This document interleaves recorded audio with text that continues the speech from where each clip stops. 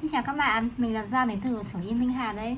Hôm nay thì mình sẽ giới thiệu đến các bạn loại dây ri băng dùng để buộc cho tiệm bánh, trà và cà phê các bạn nhé.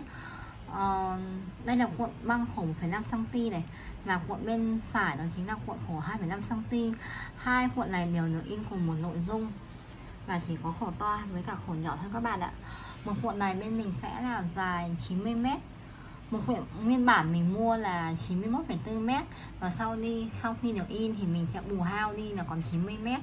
các bạn có thể thấy là loại băng này sẽ được in theo kiểu đường có đường viền uh, cách ngắt quãng như thế này.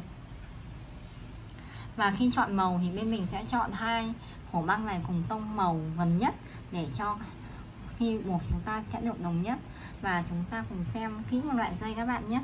Đây là dây màu cà phê màu Ừ, cà phê và những in chữ màu kem rất là sắc nét các bạn ạ. Cái này thì bên mình sẽ sử dụng công nghệ in lưới cao cấp để cho chữ được in lên sắc nét và không bị phai với những cái băng màu như thế này thì chúng ta sẽ phải sử dụng công nghệ in lưới cao cấp thì cái mực của nó mới nổi được. Còn nếu mà chúng ta chỉ in bằng công nghệ thường thôi thì thường cái màu mực của nó sẽ không lên được sắc nét như thế này. Và các bạn dùng đến đâu thì chúng ta sẽ kéo đến đấy.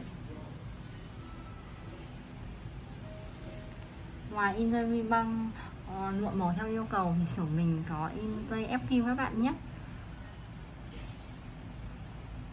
Cảm ơn các bạn đã theo dõi video của sổ in Minh Hà. Xin chào tạm biệt và hẹn gặp lại.